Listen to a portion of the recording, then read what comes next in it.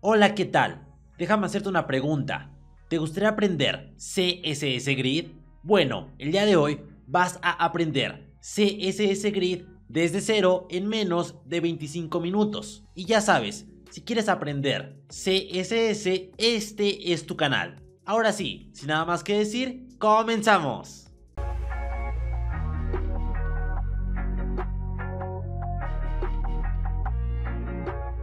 Vamos a comenzar a hablar sobre el tema de CSS Grid Layout. CSS Grid Layout es un sistema de cuadrículas, el cual es el sistema más poderoso en CSS para diseñar sitios web. Esto es gracias a su sistema bidimensional, lo que significa que vamos a utilizar tanto columnas como filas. A diferencia de Flexbox, solamente podíamos manipular al main axis. Para esto, he creado una carpeta que se llama 15CSS Grid, que tiene dentro tres archivos. El primer archivo es una carpeta IMG, que tiene dentro cinco imágenes o cinco infografías y después seis imágenes genéricas.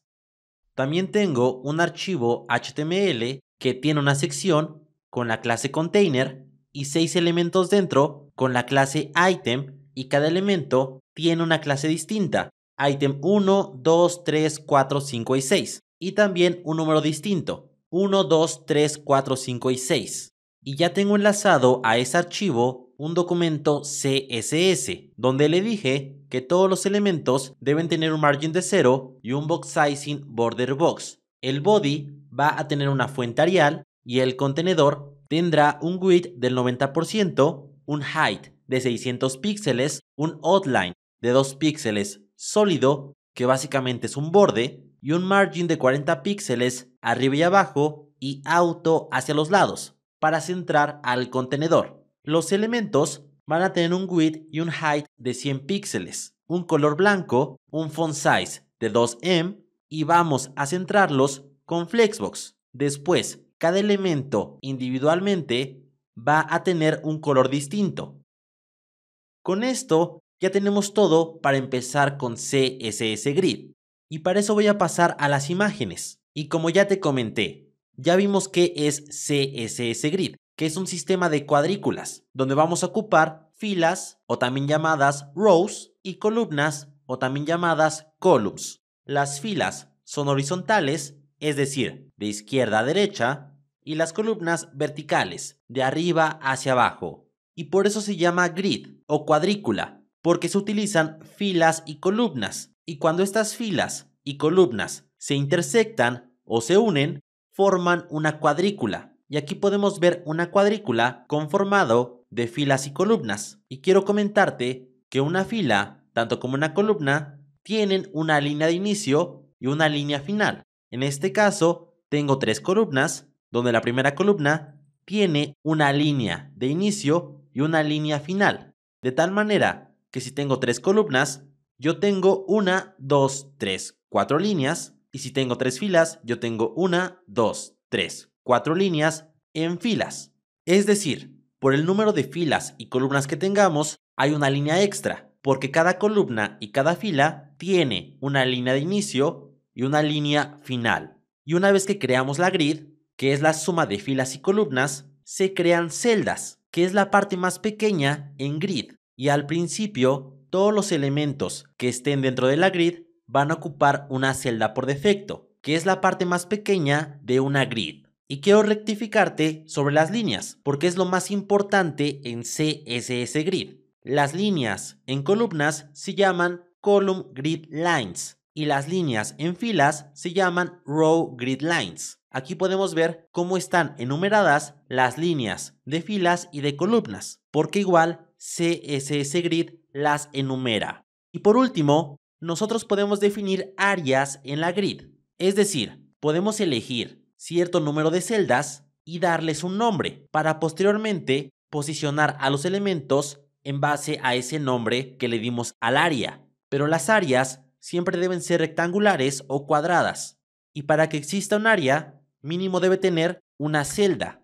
Quiero comentarte que todos los recursos que vemos en este video están en cursocss.com.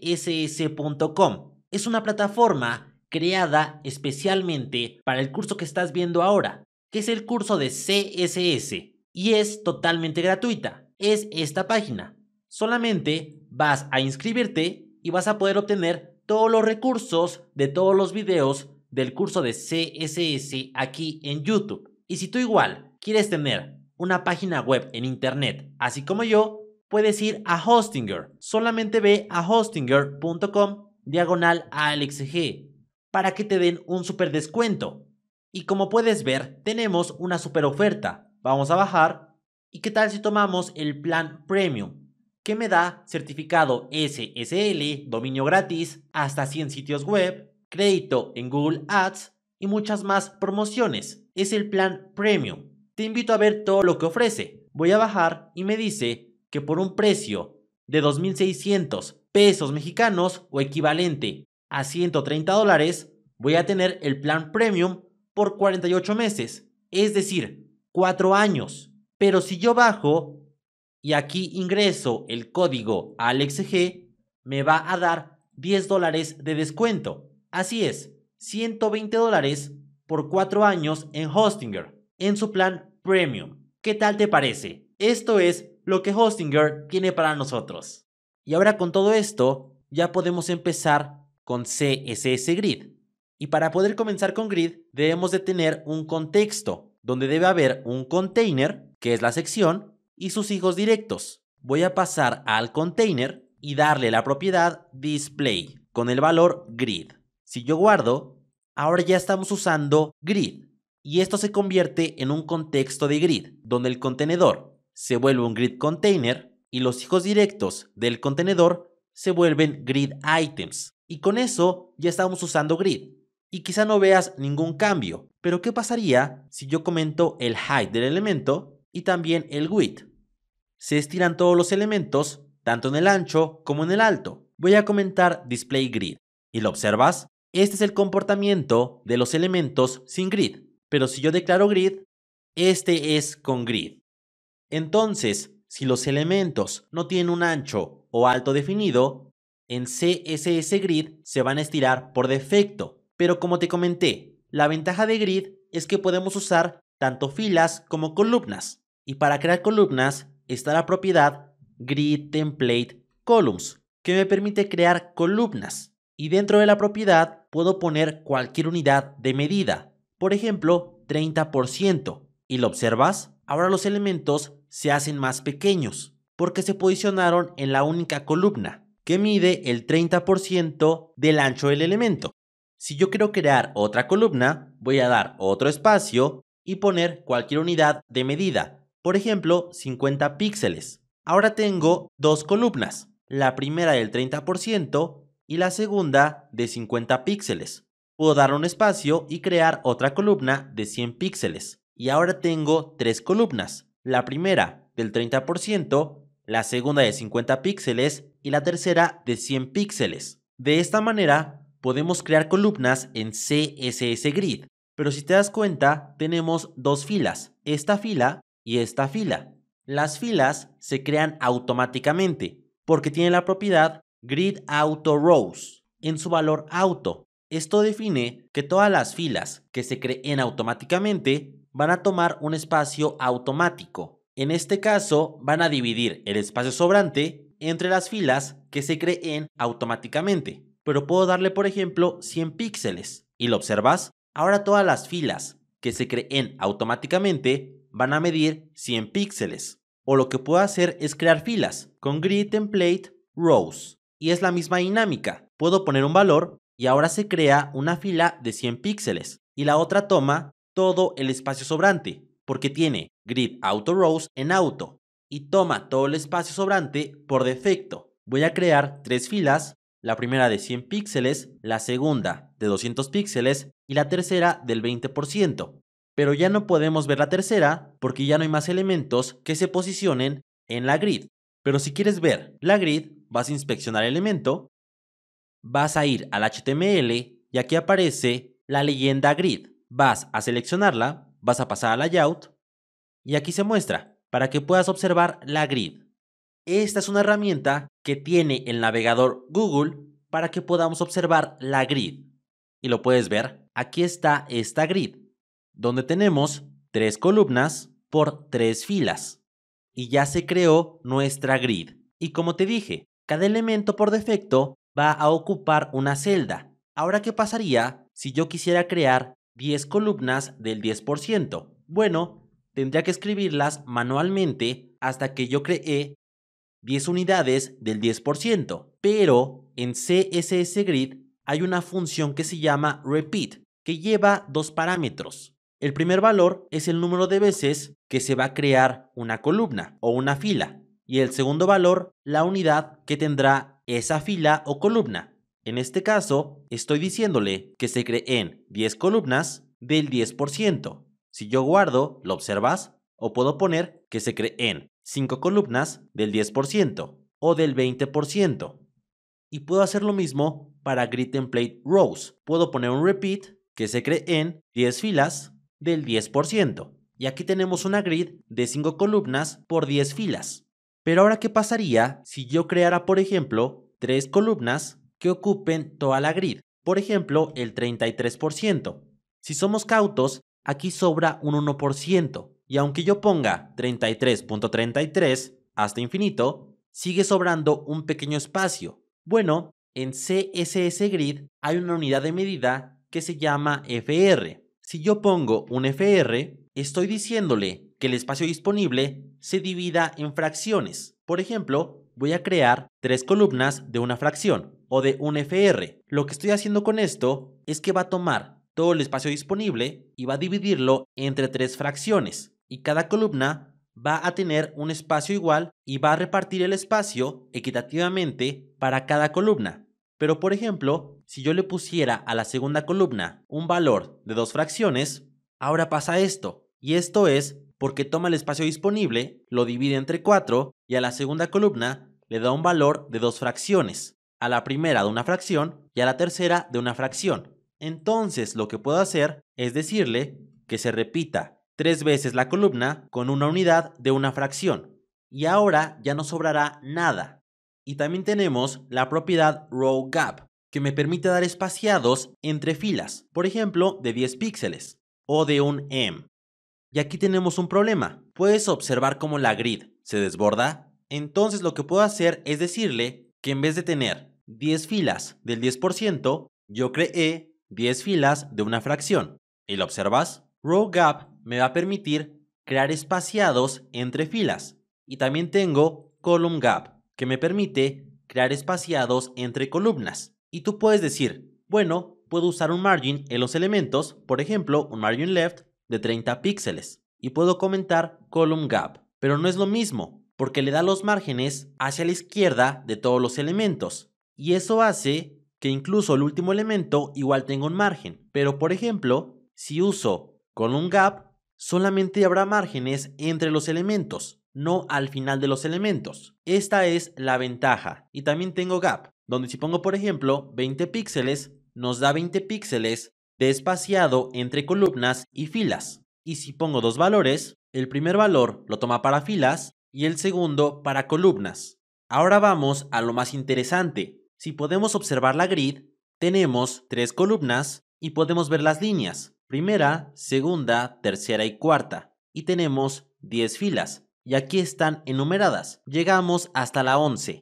Entonces, lo más interesante de grid es que nosotros podemos posicionar a los grid items en base a líneas. Voy a poner un gap de 10 píxeles y voy a pasar al elemento 1. Para eso está la propiedad grid column, que acepta dos valores, el primer valor es un número entero, después se separa por una diagonal y el segundo igual es un número entero. Básicamente indica la línea inicial y la línea final, hablando en columnas. Es decir, el primer número indica el número de línea donde empieza este elemento, hablando de columnas, y el número final o la línea final donde termina este grid item. Por ejemplo, puedo decirle que empiece en la línea 1 que es esta, y que termine en la 3. Pero para eso voy a crear 5 columnas y 5 filas. Y ahora tenemos 6 líneas en columnas y 6 líneas en filas. Yo quiero decirle que el primer elemento empiece en la línea 1 de columnas y termine en la 4. ¿Lo observas? Para eso voy a comentar a dos elementos. Voy a volver a inspeccionar y activar la grid. Y también tenemos grid row, que es exactamente lo mismo, pero ahora hablamos de líneas en filas. Por ejemplo, yo quiero decirle que empiece la primera línea en fila, que es esta, y termine en la tercera, que es esta. Entonces voy a ponerle estos valores. ¿Y lo observas? Este grid item se posiciona ahí, gracias al número de filas. Y ahora puedo pasar al segundo elemento y decirle que en columnas empiece en la línea 4 y termine en la 6. Y en filas, que empiece en la línea 1 y termine en la 5. Después al elemento 3 voy a decirle que empiece en columnas en la primera y termine en la cuarta. Y en filas, que empiece en la 3 y termine en la 5. Y ya estamos creando un layout más complejo con CSS Grid. Hacer esto con Flexbox nos costaría mucho. Y puedo pasar al item 4 y decirle que empiece en la primera columna y que termine en la sexta, que es la última. O también puedo ponerle el valor menos 1. Cuando yo pongo menos 1, aunque yo haga más grande la grid, por ejemplo, en 7 columnas, estoy indicando el final de la grid. ¿Lo observas? Las demás líneas se quedan fijas en su línea, pero al poner menos 1, estamos indicando que vaya desde la primera línea hasta la última línea, sin importar si la grid se hace más pequeña o más grande. Voy a pasar a 5 otra vez y voy a decirle que en filas empiece en la quinta fila y termine en la última. Y ahora ya podemos posicionar a los elementos por líneas. Pero voy a comentar las líneas y voy a enseñarte otro truco igual bastante genial.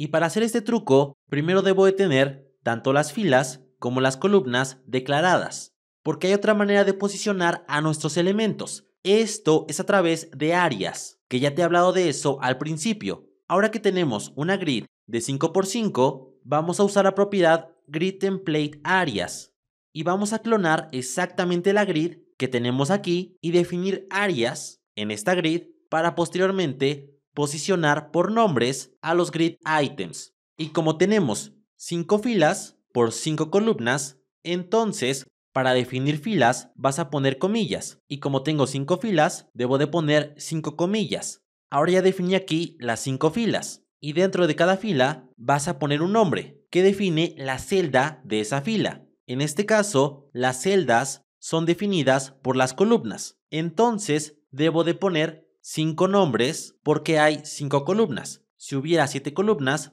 yo debería de poner 7 nombres. Por ejemplo, voy a poner la primera área que sea element 1 y debo de hacer esto 5 veces o en mi caso lo voy a hacer solamente 3 veces. De esta manera estoy diciéndole que en la primera fila las tres primeras celdas o tres primeras columnas van a tener el área de element 1. Es el nombre que tú quieras. Puede llamarse Juanito o lo que quieras. Yo voy a ponerle element 1 y después yo quiero que se posicione el elemento 2 y sobran dos celdas. Entonces voy a poner element 2 dos veces y ya tendríamos la primera fila definida.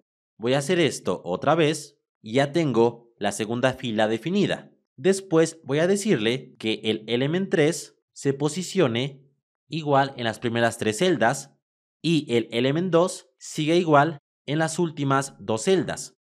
Voy a copiar esto otra vez y ya tenemos cuatro filas. Ahora voy a decirle que en la última fila el element 4 se posicione por todas las celdas. Entonces lo voy a poner cinco veces y de esta manera ya tengo cinco filas por cinco columnas. He definido cada área para mi grid. Si paso al inspector y ahora en vez de poner show line numbers, escondo las líneas y solamente voy a mostrar los nombres de área y lo observas, aquí está. Esta área es para element 1, esta para element 2, esta para element 3 y esta para element 4. Si yo abriera Mozilla e inspecciono elemento y paso a la parte de layout y muestro la grid y voy a mostrar los nombres de área. Aquí podríamos ver cómo es la calca exacta de la grid. Esta área pertenece a element 1, esta a element 2, esta a element 3 y esta a element 4. Y como te dije, deben de ser cuadradas. Si yo pusiera que element 1 igual estuviera aquí, esto ya no sería un cuadrado.